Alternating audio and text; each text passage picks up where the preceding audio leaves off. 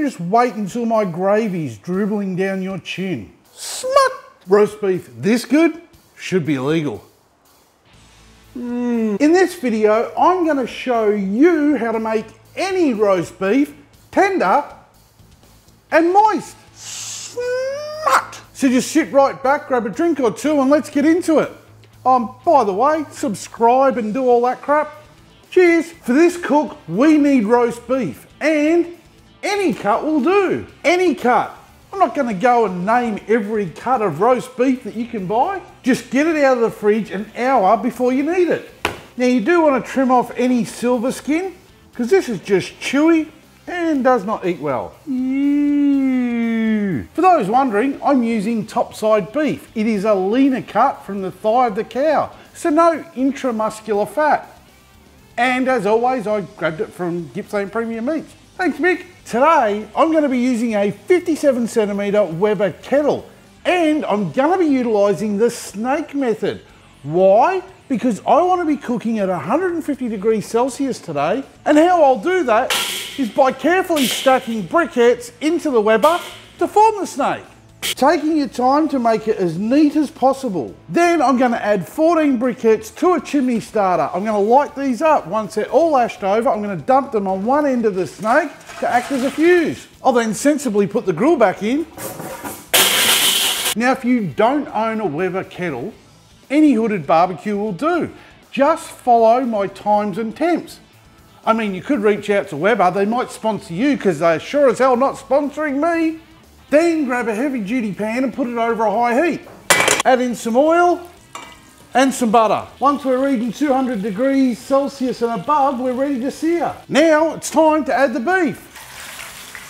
We are now searing the outside and this does a couple of things. It gives the roast extra flavour and your neighbours can smell it and it drives them wild. Suffering your jocks, Trev. Just kidding. I actually like Trev. And we're just going to keep turning it until it's all seared.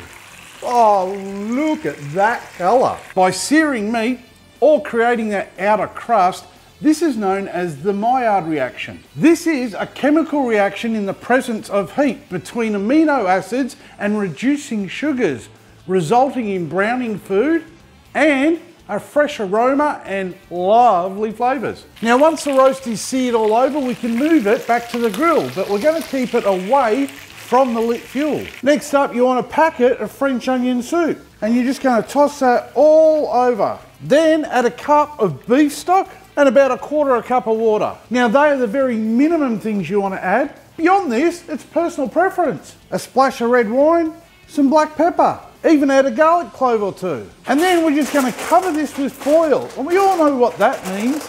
It's gonna retain all that moisture and it will stay juicy. I mean moist. Smut.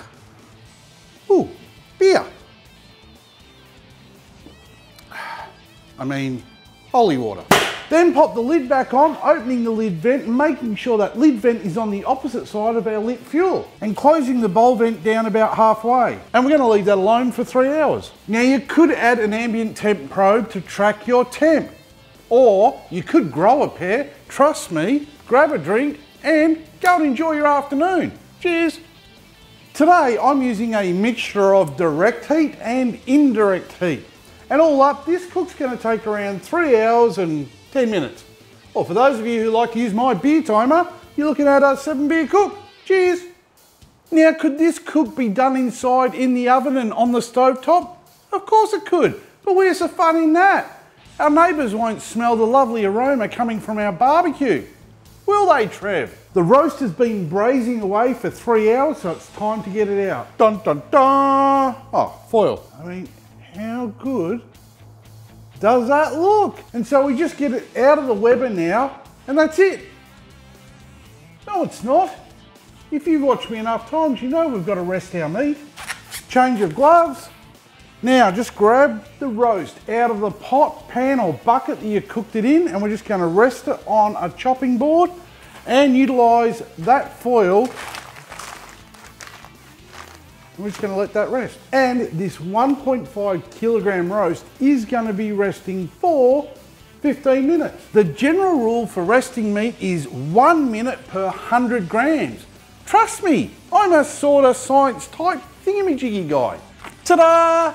This is a tender roast. Now just grab a knife, the bigger, the better. Now, just slice up that roast. Now we just need to drizzle over that pan juice, or gravy if you want to sound all fancy. Yes, I turned the pan juice into gravy.